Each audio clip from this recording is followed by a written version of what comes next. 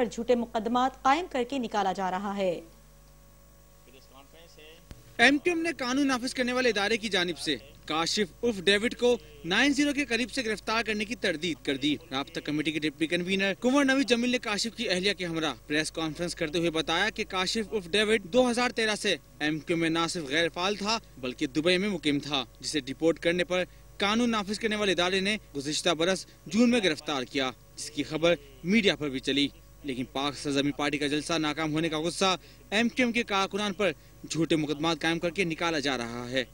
کاشف جو تھے، جو ایم کیو ایم کے کارکن تھے، لیکن کافی طویل عرصے سے یہ اپنی ذاتی زندگی گزار رہے تھے۔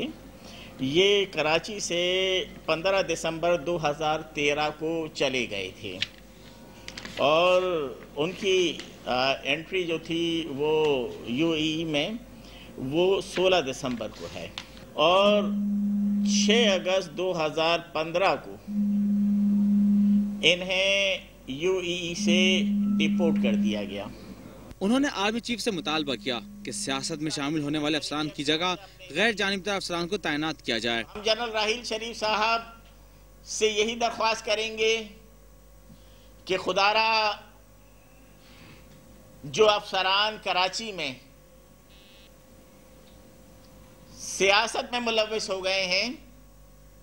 وہ ممکن ہے آپ کے بہت اچھے پیشہ وارانہ افسران ہوں گے، لیکن خدا را اپنی ادارے کو متنازع ہونے سے بچانے کے لیے آپ ان کی جگہ یہاں پر ایسے افسران کو لگائیے جو کہ اتنی زیادہ سیاست میں انوالو نہ ہوں۔